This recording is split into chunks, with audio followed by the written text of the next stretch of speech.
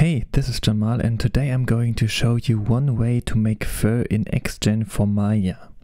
This tutorial is especially for RenderMan, but most of the parts will work with other render engines too. First I have to say working with XGen is very hard because there are so many bugs and problems. I know how to provide 99% of these bugs, but only in Maya 2020. Maya 2022 became especially for macOS so many new bugs I cannot handle with yet, so don't wonder that I'm using an older version of Maya. If you want to try what I'm doing here, you can download this model with the link in the description. I made this model in less than 5 minutes, so please don't judge me because of its bad and very terrible topology. At the beginning I recommend to make a new project so XGen has less problems to find your file. Also I recommend to delete the history of this mesh. First select your mesh and you can also select just polygons if you want to. And after that we can create a new description. Rename the description and also the collection then select groomable splines randomly across the surface and using grooming tool. We're going to make two different descriptions, or to say it in other words, two layers of fur. We first start with the undercoat. To start with that, you'll have to go to the preview output tab. Down here you can select the render engine, for me it is RenderMan. This step is not important in Maya 2022.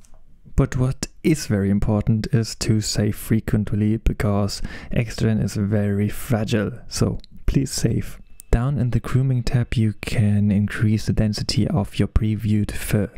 I recommend to choose the interpolate sampling method. If not, your working process will get lost if you change the density afterwards, but that won't happen if you choose interpolate. But let's start to post the fur. Most of the brushes are not that necessary for beginners. The most important ones are the pose brush and the elevate brush. I try to pose the fur in those directions. It's very important to have a good hair flow. The best way to find out in which way you need to pose your fur is to search in the internet for real animals and in which direction their fur goes. One big problem with posing an action is that some parts of the fur will be posed under the surface, so you can see here how it looks like when that happens. You can easily bring the hair back to the surface with the elevating tool. It may seem a bit ridiculous, but I mostly first smooth the parts of the fur before I put some noise above it.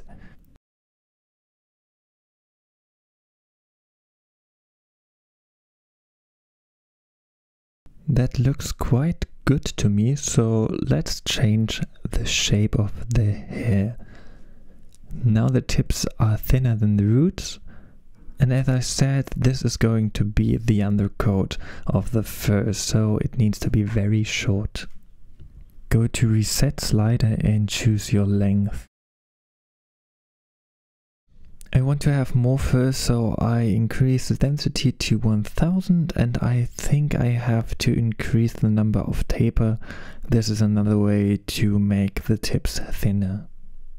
Now we're coming to the place where magic happens. Modifiers. First we create a noise modifier.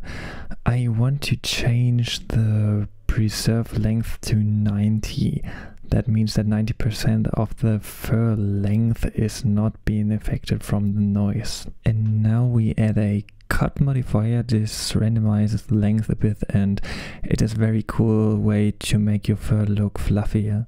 That's quite good, but uh, let's increase the density again. I'm sorry for jumping backwards and forwards to each setting, but there is no recept for working with XGen. It's all about trying out what looks better than the other setting. But that's everything I wanted, so we can start to make the main fur. To do that we need to select our mesh, go to description, create description and give it a name. This time I want the width to be randomized. It does not work with Maya 2020 because of a bug. If you want to provide this issue, you can go to the video description down below and download the file called with randomize. Go to load expression, select it, and voila, you have a randomized width between 0.006 and 0.015. That seems to be a bit thin, so I slightly increase the numbers. Now I also changed the shape of the hair and add some taper. Yeah, and same thing again, posing, elevating, smoothing and adding some noise, especially on its belly. Maybe we need to increase width and length again a bit. And then it comes to the best point of making fur, the clump modifier. To make it work we need to set up a map with I think a density of 8, click generate and save. And now we are actually very close to feathers. But as you can see there is still a hole. We can fix that while using the elevating brush. But let's come back to the clump modifier. I want to decrease the effect of the modifier. I just want to have 40% of strength. I think the clumps need to be a bit thicker on the base and on the tips. They also need to have a bit more volume and now I add a bit noise. 30% noise especially at the end of the tips. I want every part of the clumps to be flattened on the mesh and you can also do this with a negative value by using offset. The next step is to create a new clump system. I want to have clumps within the clumps. For that we need to choose a much higher density and make sure you are not using control maps. It's easier to handle for your computer. Sometimes you will get an error called steering pixel. To solve that you'll have to increase the number of texels per unit amount or decrease the density. Great, same thing as before, another clump shape at 30% of noise to the tips and making everything a bit flatter. The next modifier we add is a noise modifier with 60% effect with a frequency of 4 and 90% of the length is not being affected and again a new noise modifier. If we type in a number at this masked tab, for example 0.4, 40% of the effect will be assigned on the whole fur. If we just want to affect a random amount of hairs, you need a new expression. You can copy it or download it with the link in the description down below. The file is called percent stray. I want 2% of the hair to be longer and noisier than the other ones. To achieve this, go down to magnitude and increase the number. And as always, there is an cut modifier in the end with a random cut between 0 and 50% to make the fur look softer and fluffier. The last thing we need to do is to add a Pixelmotion hair shader if you're using RenderMan.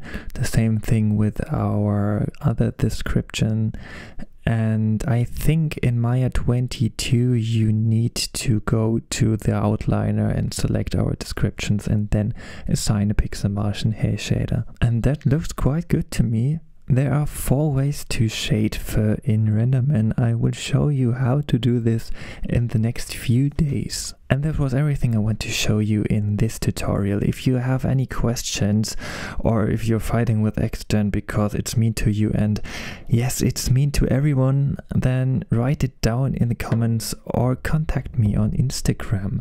Thanks for watching and see you the next time.